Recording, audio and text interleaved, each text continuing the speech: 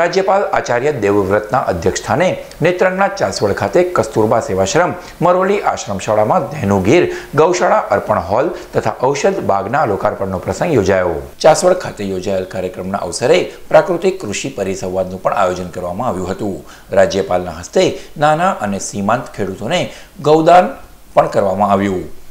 પ્રાકૃતિક કૃષિ પરિસંવાદમાં રાજ્યપાલ શ્રીએ સંબોધનને બદલે ઉપસ્થિત કૃષિકારો સાથે પારસ્પરિક સંવાદ સાધીને, રાસાયણિક અને જૈવિક ખેતીને બદલે પ્રાકૃતિક કૃષિથી થતા લાભાલાભ વિશે વિસ્તૃત માહિતી આપી હતી. કસ્તુરબા સેવાશ્રમ મરોલીના મેનેજિંગ ટ્રસ્ટી ખુમાનસિંહ વાસિયા જિલ્લા કલેક્ટર તુષાર સુમેરા જિલ્લા પોલીસ અધિક્ષક મયુર ચાવડા અધિક નિવાસી કલેક્ટર એનઆર ધાંધલ ઝઘડિયાના ધારાસભ્ય રીતેશ વસાવા સહિત મોટી સંખ્યામાં વિદ્યાર્થીઓ શિક્ષકો અને પ્રાકૃતિક ખેતી કરતા ખેડૂતો આ અવસરે ઉપસ્થિત રહ્યા હતા.